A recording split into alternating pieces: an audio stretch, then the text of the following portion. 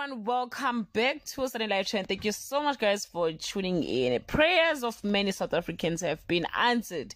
We are still talking about a young graduate from UKZN by the name Dumisani Ngobese. South Africa is willing to rewrite his story and encourage young people at the same time. Dumisani Ngobese's phone, guys, is ringing non-stop. Radio station interviews, financial assistance, and many opportunities. A good Samaritan by the name Kelvin Mujalifa Mandla Kapeli Matibeli, who is a businessman, offered Dumisani a job and a bursary to complete his studies, as he mentioned that he is doing his honors this year. Easyway Driving School want to offer him 10 full course for free, and many people are reaching out to assist him. Indeed, guys, nothing is impossible with God. This was a beautiful story to tell. We continue.